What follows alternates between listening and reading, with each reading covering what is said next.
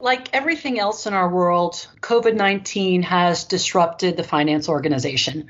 And the way we're seeing it in terms of the finance workforce is that when COVID 19 first hit back in March, it was right towards the end of the first quarter there, and suddenly the CFOs had to react very quickly and, and make a ton of rapid changes, right? From moving a workforce remotely to enabling maybe some mobile technologies that weren't there before and even weren't con- contemplated before as well as you know doing some surge activities to be able to catch up really quickly as they got to quarter end as it relates to those disruptions what happened though is that after that initial push, that initial surge for that moving to that new model, it really led into the finance leaders thinking about what does their finance organization need to look like in the future?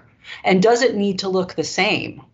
And that varies from a lot of things. You know, the big obvious one is hey, do we still need our office space like we used to have before? Do we need to still have a team in person, on prem, or, or is there a better way to figure this out?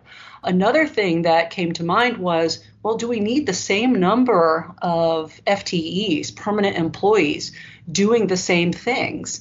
And what we've started to see is a lot more variable resourcing type models. And that can be some things to respond to, and I keep using the word surge, but surge periods of activity, right? Times when you can put a trusted model in place to respond to the surge but not keep those permanent FTEs around year round.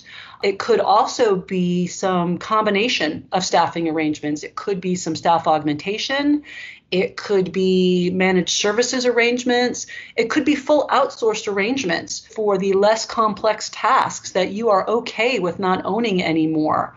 So the, the finance leaders, you know, just to kind of summarize, they they responded quickly, but then they've also fairly quickly moved into this new model.